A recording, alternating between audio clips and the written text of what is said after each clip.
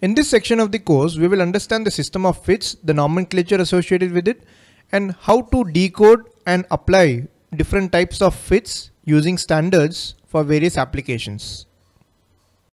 So when we talk about mechanical design, shafts and holes are the most common type of features which are generally used for assembly and mating in mechanical design in interfaces.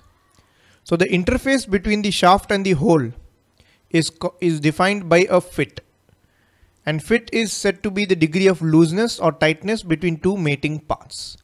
So if you take any mechanical design which is having multiple parts, it will have shafts and holes which are associated and which is having mating features. So the definition of those mating features is generally done by defining the fit.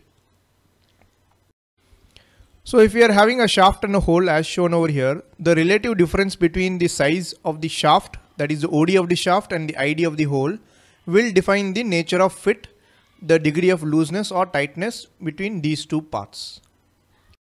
So generally there can be three distinct types of fits. First is the clearance fit. So clearance fit is when we are having an oversized hole and an undersized shaft. So the shaft is much smaller than the hole and so when the shaft is inserted inside the hole there is some amount of clearance. So an example would be the pin in the pin joint of a hinge.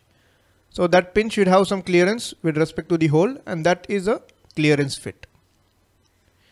The other extreme is interference fit in which the shaft is larger than the hole. That is the OD of the shaft is larger than the ID of the hole and this results in interference. So in this case if you want to assemble the shaft into the hole we need to apply some amount of force and that amount of force is directly proportional to the how much interference is taking place between the shaft and the hole. One example is a bearing which is press fitted onto a shaft. So the bearing has an interference fit with the shaft.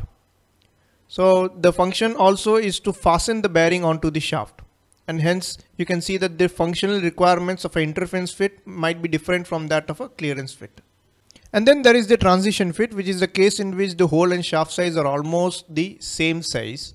And hence the assembly will not require that much amount of force. You can say that the snug fit is an example of a transition fit.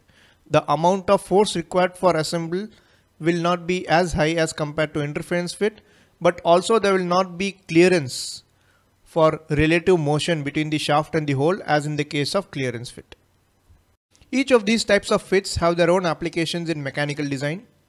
One example of interference fit is the assembly of a ball joint onto the control arm of a suspension.